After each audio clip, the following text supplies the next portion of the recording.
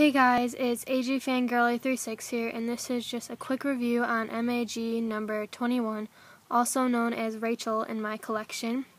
She has light skin, short, curly, honey blonde hair with pin curls, and hazel eyes.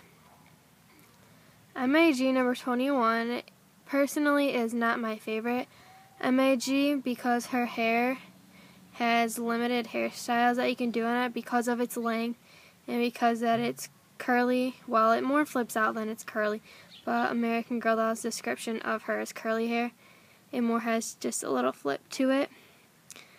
Um, if you style it or brush it out too much, it will lose the curl. So that's why I don't recommend styling her hair. Let's move on to the back. Here is the back of her hair. Like I said, it's honey blonde, and American Girl Doll's description of her hair is curly, but it more has a flip to it. Hairstyles are limited. I love the color of her hair. It's just, you can't do much with it. And she also has a center part. All in all, MAG number 21 is a really cute doll. It's just personally not my favorite because of limited hairstyles and the fact that her hair isn't really curly, it just has more of a wave to it.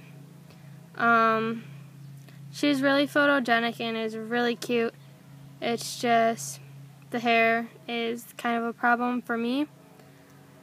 I wouldn't recommend her as a first time doll. Um, if you like her, I'd recommend her. It's just not for a first doll because it gets takes some time to get used to her. Um, if you have any more questions about her, leave them in the comments below.